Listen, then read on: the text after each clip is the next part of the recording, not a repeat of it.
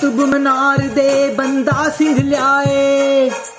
26 ਸਾਥੀ ਉਸ ਦੇ ਪਹਿਲਾਂ ਚਟਕਾਏ।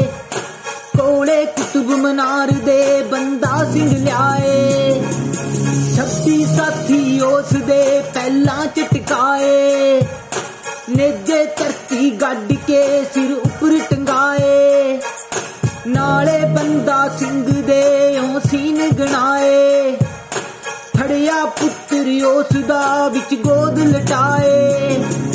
ਕੋਇਆ ਛੁਰੀਆਂ ਨਾਲ ਸੀ ਬੋ ਜ਼ੁਲਮ ਕਮਾਏ ਫਿਰ ਵੀ ਬੰਦਾ ਸਿੰਘ ਨੇ ਜਾਣਾ ਘਬਰਾਏ। ਕੋਲੇ ਕੁਤਬ ਮਨਾਰ ਦੇ ਬੰਦਾ ਸਿੰਘ ਲਿਆਏ। 26 ਸਾਥੀ ਉਸ ਦੇ ਪਹਿਲਾਂ ਚਟਕਾਏ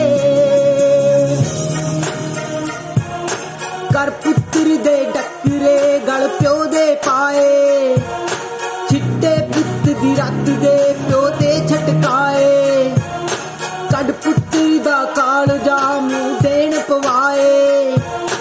ਕੋਲੇ ਕੁਤਬ ਗੁਮਨਾਰ ਦੇ ਬੰਦਾ ਸਿੰਘ ਲਿਆਏ।